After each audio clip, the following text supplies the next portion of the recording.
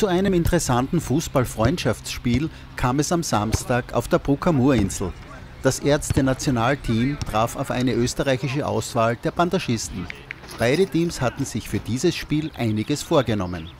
Der Norbert Erker ist der Kapitän vom Bandagisten Nationalteam und ihr seid heute da in Bruck. Spielt ein liebes gegen das Ärzte-Nationalteam, gegen das österreichische. Eine gute Sache, glaube ich. Na, das ist eine sehr gute Sache, weil das machen wir eigentlich jedes Jahr. Wegen Corona haben wir natürlich ausgesetzt. Jetzt freuen wir uns, dass wir diesen schönen Platz in Bruck an der Mur auch bekommen haben. Da danken wir natürlich auch der Gemeinde, dass das uns zur Verfügung gestellt worden ist. Vielen, vielen Dank. Und es wird sicher ein nettes Match und ich bin überzeugt, dass sich die Ärzte hoch durchsetzen werden im positiven Sinne. Ja, und wichtig ist natürlich das Zusammensein und ein bisschen das Gesellige. Also eigentlich geht es hauptsächlich nur um das sozusagen, dass man sich wieder gemeinsam trifft sozusagen, natürlich mit dem gewohnten Respektabstand für Corona. Das ist ganz, ganz wichtig, dass wir das auch hier einhalten. Ja, der Christian ist der Kapitän vom Ärzte-Nationalteam vom österreichischen. Ihr habt so heute ein heißes Match. Ja, wir freuen uns schon extrem aufs erste Match wieder. Nicht nur die Sonne ist heiß, sondern hoffentlich auch das Match. Unsere Gegner sind aus äh, Kärnten, die äh, Bandagierungsfirma OFA. Wir sind gespannt, wie es uns geht heute am ersten Tag wieder. Ist ein bisschen hintrainiert für das?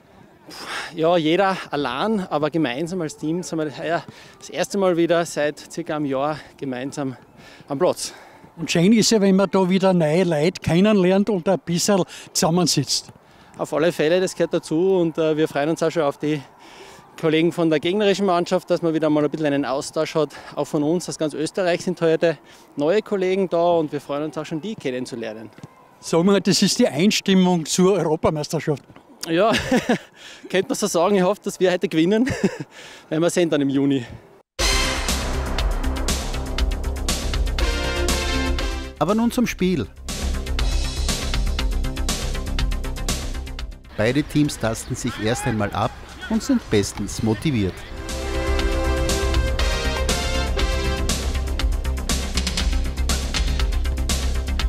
Dem in Rot-Weiß-Rot spielenden Ärzte-Nationalteam gelingt mit einem frühen Tor in Minute 7 gleich der Führungstreffer, der Torschütze Mario Gruber.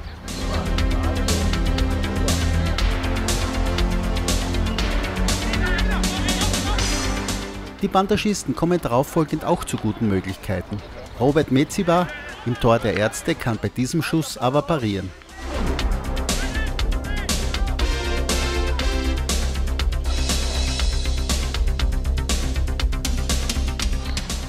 Das Ärzteteam hat den Hebel in die Hand genommen, erarbeitet sich gute Torchancen. Florian Altenberger verhindert da aber gekonnt.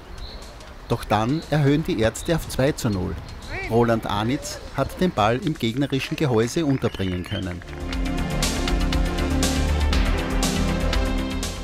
Der Christopher König ist ja da bekannt im obersteirischen Fußball. Du spielst heute beim Ärzte-Nationalteam. Das ist eine neue Ruin für dich. Ja, da hast du recht, Peter. Ja, es freut mich. Ich habe ja, wie du sagst, länger in der Obersteiermark Fußball gespielt, vor allem in Berneck. Und seitdem ich aufgehört habe, weil ich zum Arbeiten angefangen habe, eben in Graz unten, ähm, hat sich die Sache ergeben, eben mit unserem Kapitän, ähm, der bei mir eben im gleichen Haus wohnt, dass ich dort beim ersten Nationalteam anfange. Und ja, das ist ein super Ausgleich neben dem Beruf und nicht ganz so intensiv wie damals in Berneck. Wobei, ob es intensiv sein wird, werden wir gleich sehen, weil ich bin ja das erste Mal dabei und heute und das genau gleich im Bruck, das ist ja für mich sowieso ein Traum.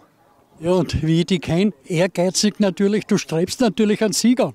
Absolut, absolut. Schauen wir mal, was möglich ist. Großer Platz, schönes Wetter, aber wir freuen uns, dass wir nach so einer langen Zeit wieder mal kicken können. Die Sabine betreut die Bandagisten, hält die Daumen natürlich, aber es schaut nicht so gut aus mit dem Spielstand 2-0 für das Ärzteteam. Das stimmt im Moment nicht, aber sie sind mit Herz und Leidenschaft dabei und sie sind schon doch ein bisschen Erz, äh, älter als die anderen Gruppen, das muss man so sagen. Dafür sind sie sensationell. Und es macht Spaß. Ja, ich glaube, das ist ein schönes Gefühl, wenn man so von hübschen Männern umgeben ist. Und wie? da fühlt man sich wieder jung. Das ist in meinem Alter auch schon ganz fein.